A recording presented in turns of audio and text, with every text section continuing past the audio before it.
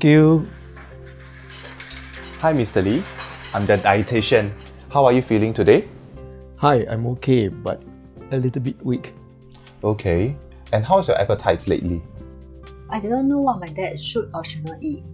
Well, during cancer treatment, particularly chemotherapy and radiation therapy, your immune system is often compromised, making it more susceptible to foodborne illnesses, especially for stem cell transplant patients who are undergoing pre transplant chemotherapy, and even more when they are undergoing the transplant.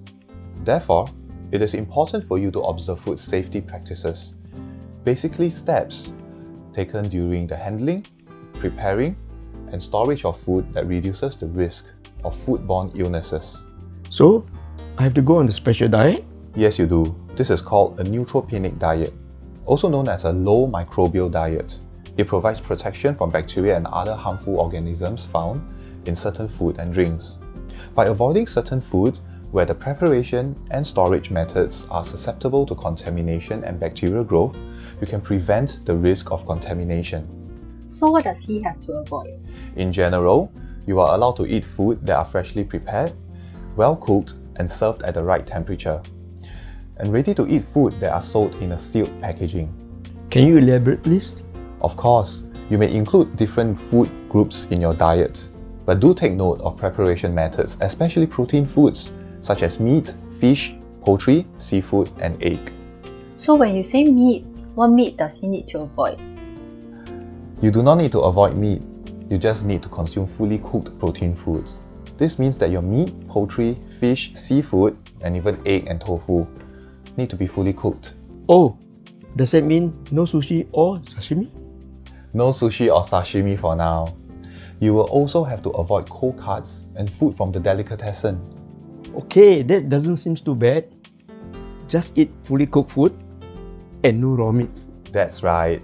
Is this the same for vegetables? No raw vegetables? All must be fully cooked? Yes, all vegetables have to be washed thoroughly and cooked. No pre-cut vegetables and fruits, meaning no salads. Only eat fruits with thick skin, for example, bananas and oranges. If you see mold on the fruit, do not eat them even after the mold has been cut away. You may eat dried fruit in sealed packets. How about fruits and vegetable juices? Well, freshly prepared juices sold at food courts or shops may pose a risk to food safety. Contamination may be introduced from unclean equipment and utensils used.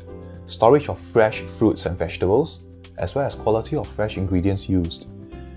Pasteurization is a food preparation process often used to kill bacteria in food.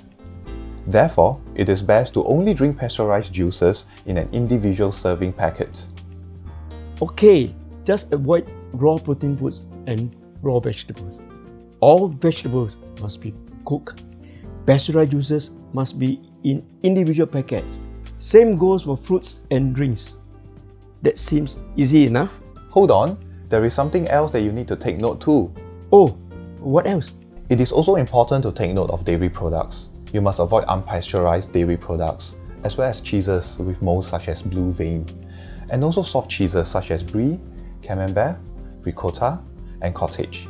And also, not forgetting any cakes with fresh cream or custard fillings. Oh, dairy products. So, no yogurt and ice cream? You can have ice cream as long as they are individually packed, meaning no soft serve ice cream. However, you do have to avoid yogurt and yogurt drinks as they contain live cultures. In addition, you also have to watch the temperature of the food you eat. Temperature? Yes, temperature. Bacteria can form and grow rapidly at temperatures between 10 to 60 degrees Celsius. Your hot food should be kept at above 60 degrees and should be cooked at at least 72 to 82 degrees. It is also important to store your food below 4 degrees in the refrigerator or at minus 18 degrees for your frozen food. This is to prevent bacterial growth. So, how do I check the food I eat is hot enough? Well, it is best that you ensure that the food is freshly cooked when you place an order and has not been lying around for long periods of time before consumption because bacteria can multiply. Oh, okay. You may just feel more comfortable cooking at home. Ah. Is that all? Yes, we have covered enough of the basics of the neutropenic diet guidelines to get you started.